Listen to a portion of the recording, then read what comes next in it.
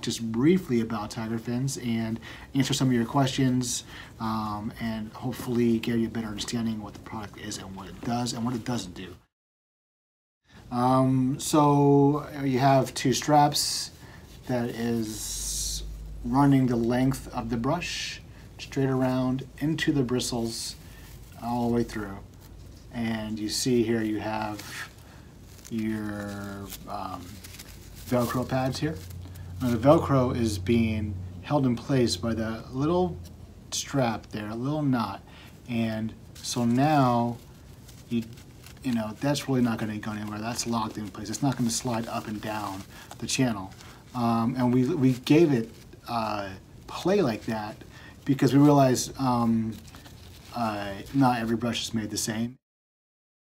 Or if you wanted to put this onto a 14 inch brush, this is a 12 inch, um, you, you, could, so we've had some guys that come back with some challenges on that, uh, just because it will feed through these, um, these tensioners.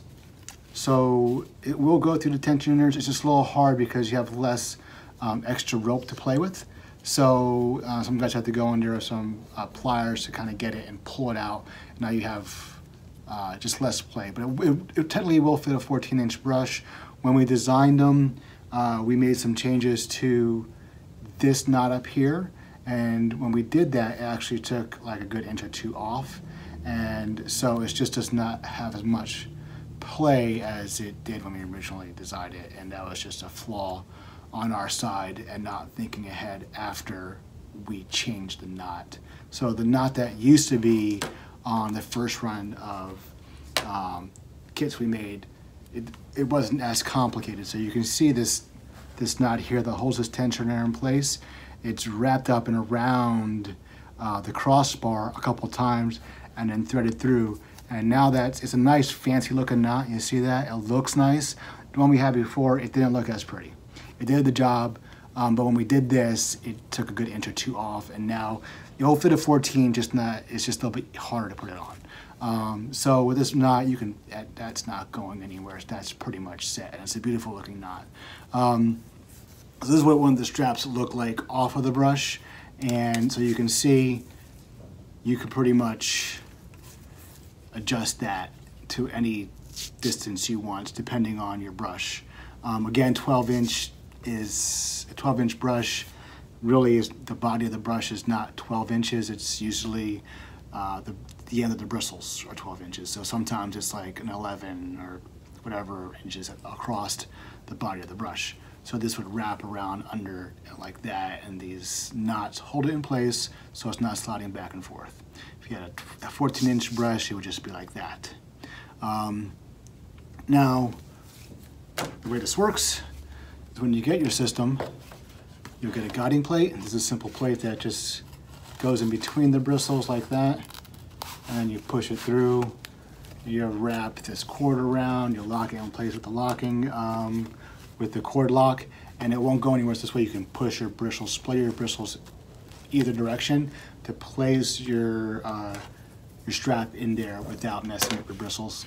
You take that off and do the same thing to the next one. We have an installation um, video on our website that you can go and look at when you order the product and it would help you guide you through the process.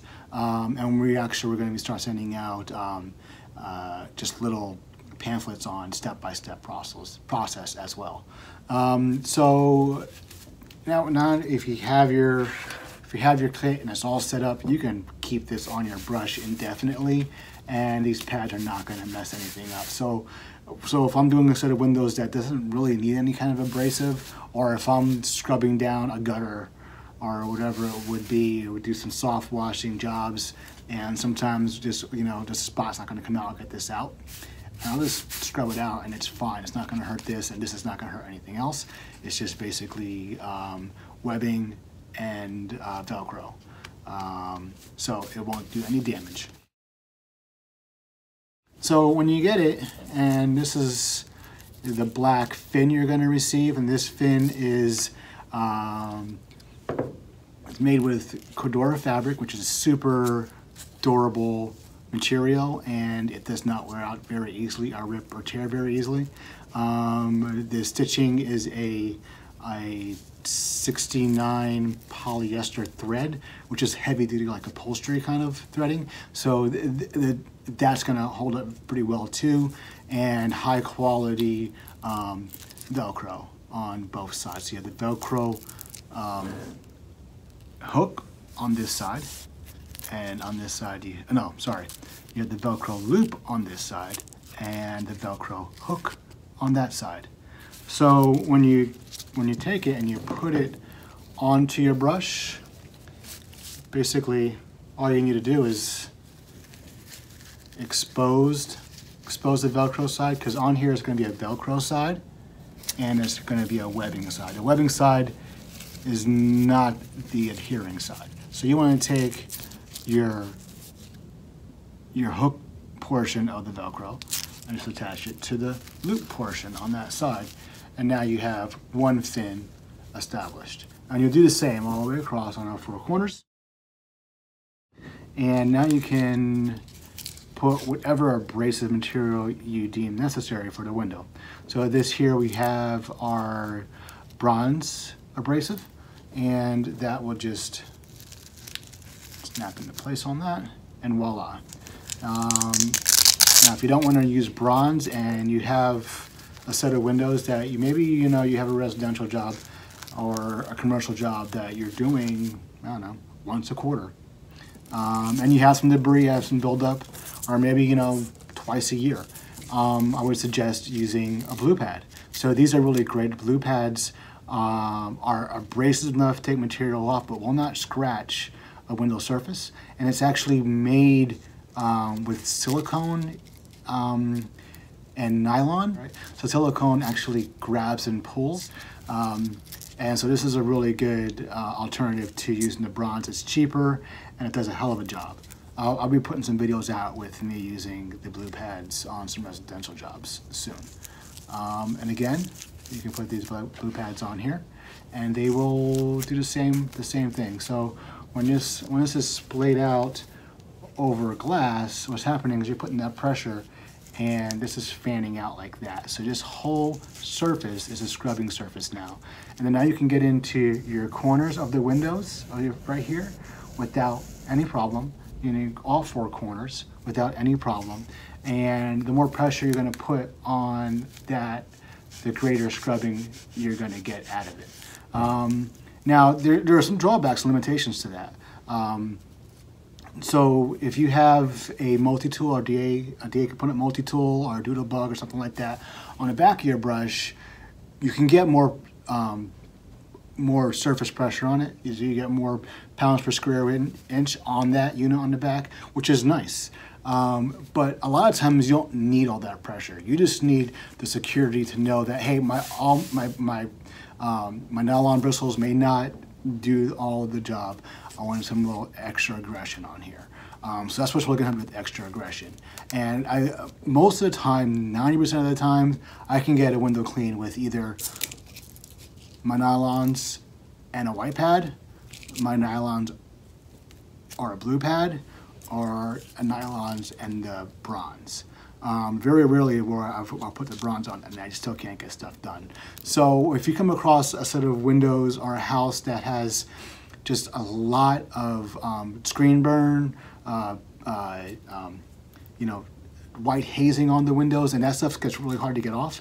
What I suggest doing is a combination between uh, something like a Doodlebug or a uh, DA component, multi-pad, uh, multi-bar, or multi-tool, sorry, on the back of your brush in conjunction with this. So what you would do is, you know, I'm gonna set all the fins up real quick so we can better view of what's going on here.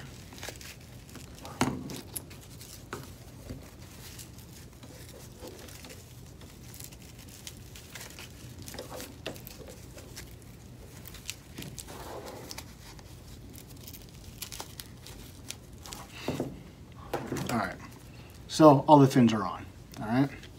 I'm gonna go on, I'm gonna put all of my bronze pads on here. And you can see it's the hook version or portion is on the back of the bronze. And once you secure them on there, they're not coming on off. They're on there pretty well. Um, let's see. And- Okay. So there you have it. They're on there. So let's suppose we are. Hmm, you know, I might have something that would act as a window. Give me a second. So here we have a extra spare piece of plastic that would act like a window. So you, once you have it on there and you're putting pressure on there and you're splaying that out, you can see how they'll fan out. And you got all four corners that you can really scrub into. You can see that? And you go up to the top of the frame, all the way around and down.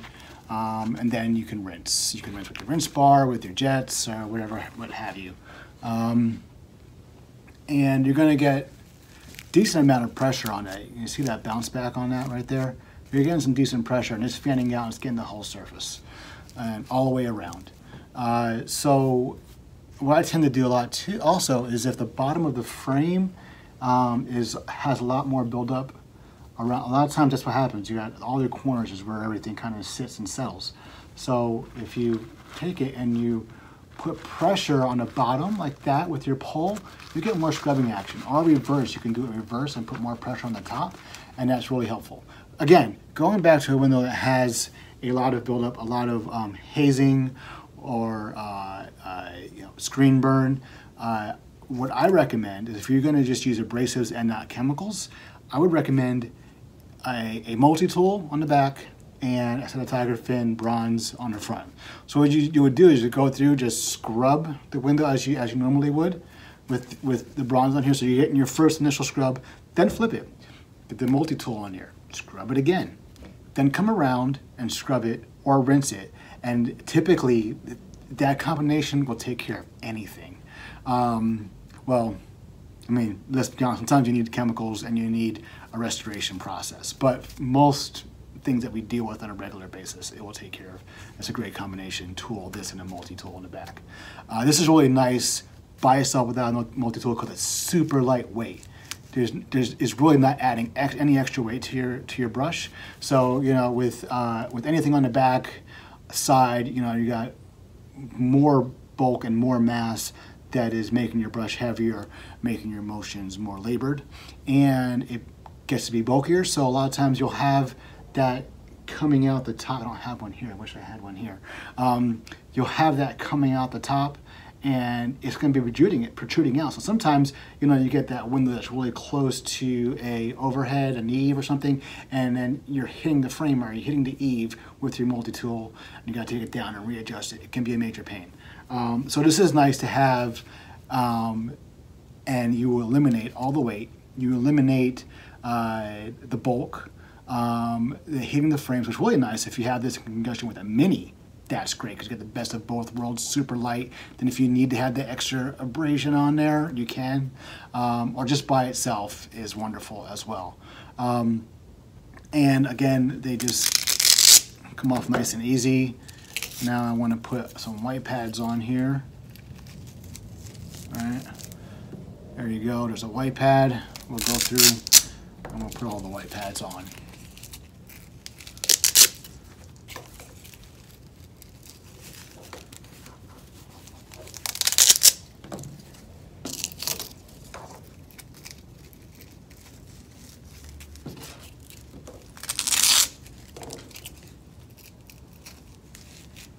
All right, couple of seconds, now I have my white pads on.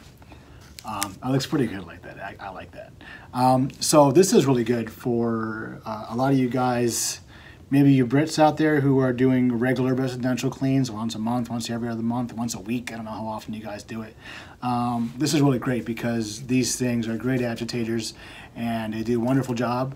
Um, so they would uh, be a great pair with your nylon bristles and some white pads just to some extra security and make sure you're getting everything off. These are wonderful for something like that. In fact, I have a job, a uh, commercial job that I'll be doing next week, and I do them once a month. There's a second floor uh, beauty salon. Have a bunch of windows wrapped all the way around, and um, in this time of year, they don't get that bad. In the summertime, uh, there's a lot of uh, spiders that kind of hang out. They have their sign. They have a big uh, neon or a big uh, logo sign above the windows, and I leave it on all the time, so you get all this uh, spider buildup and stuff like that. So I like to have some kind of abrasive when I'm doing that, and these are good for that because it's getting done once a month. It's not super bad, and, and unless it's peak season of summer and the spiders are really out, then I'll graduate to a blue or to a bronze. Um, but again, these are great for those regular maintained cleans, just some extra protection, um, just some extra security and peace of mind, you knowing that you're getting everything off that you want to get off. Um, and then the blue pads, um, again, the blue pads, I would, you know, I would use that. So for, like say you have a residential job, they do quarterly, I'm not quarterly, um, twice a year. So I have, I have a, a handful of um, residential customers, and we do their house twice a year. So we'll come out in the fall, we'll come out in the spring, our spring and fall, uh, and we'll do the windows inside and out. And they're not like super build up, so like the bronze would be overkill. And but it's not just bird poop, sometimes other kind of stuff, spider webs, whatever. And these are really great for for doing that. So I would take these and I'll put these on um, and do that. Oh, I'm coming out in the spring. Let's let's put some blue pads on with tiger fins, some extra, uh, you know, protection on there, some extra peace of mind. I know I got everything off. So the worst thing is when you, you've done the outside, now you're going in and do the inside, you're like, oh my God, look at that spot there. And you're like, what am I gonna do with that? Um, or if you have somebody inside, they're like, hey, you missed a spot, you know? Uh, if you have that guy doing the insides while you're doing the outsides. Uh, so this is this helps eliminate some of that, you know, anxiety about oh did the water fed brush get everything? Especially when you're when you have new guys on your crew and you're just unsure of what they're really doing and how if they're doing well enough this really helps uh, uh, bring peace of mind because uh, I know um, sometimes they don't always spend enough time. This will help them a little bit. They still got to spend time but this is a little bit of peace of mind for your owners. Um, and then also the ability to get in those corners that's where all that build it up is. If you take this thing and you reach into, what did I do with that plastic? If you take this thing and you reach up into that corner like that, and you just apply some pressure and scrub back and forth, that's gonna get most of your stuff off. Uh, and we left, we intentionally left it with a gap in the middle so that you can scrub your frames a little bit easier there. Do I have anything here that would be qualify as a frame here. Give me a second here, guys. All right, little Amazon box here. So let's say this is the window frame. Now, you can use that middle piece to actually scrub that frame a lot better. And this is chunkier than most frames that are out there. They're usually not this thick. So you can get in there and you can get the frame done a lot better than even when you're getting the, uh, the bottom of the frame there's a gap in there. You can actually get in there and scrub it like that. Come across here. You can bend them this way, shove it out like that. I mean, these are pretty durable. You can see them really trying to rip this thing off like that. You're never going to do that in real life. But uh, you can see that they're going to hold up. Um, they're kind of bent the blue a little bit. Uh, but you can see they're still on.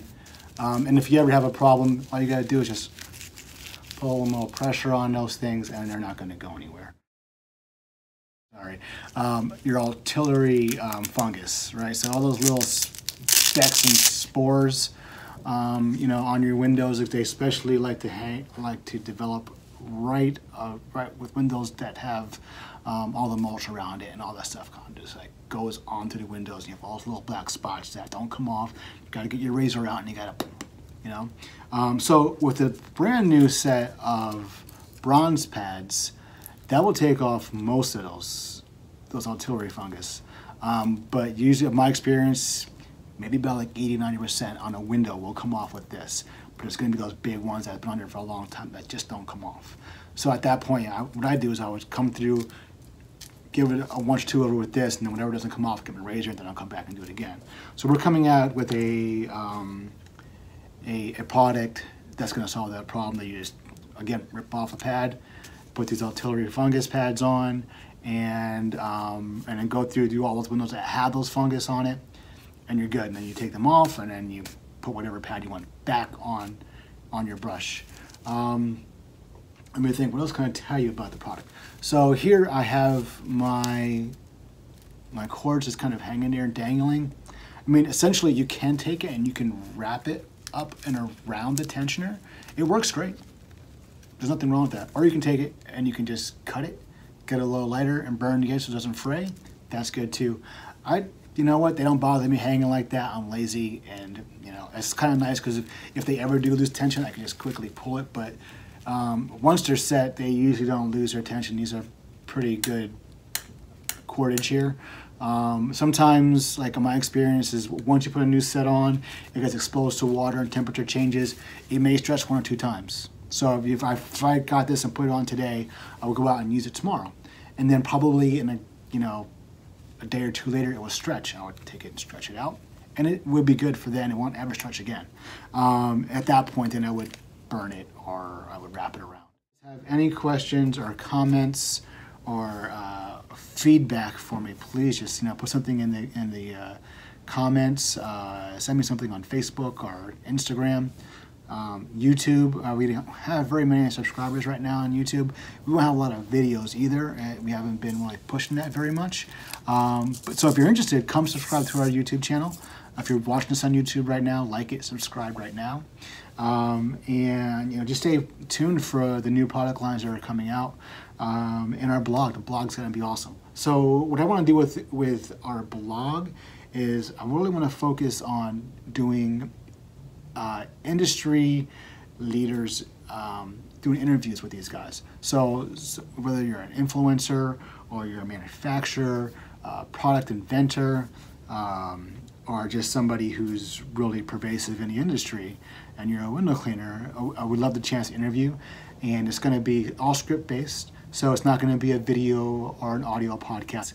And I kind of I kind of want to go in that direction because right now there's a lot of that kind of stuff going on out. There's a lot of white noise with you know a lot of guys doing podcasts and interviews and, and all that kind of stuff, which is great and I love it. I absorb as much of that stuff as I can, but um, we want to do something a little different. And I like the idea of a uh, scripted or a um, a written and, and read interview because you can uh, really dial into some topics and really get um, some really good answers back from some guys as opposed to being off the cuff, on the fly, right there, live. Sometimes guys are not thinking as well and um, and can't always come up with the proper answer. This way, it's kind of drawn out over a period of time.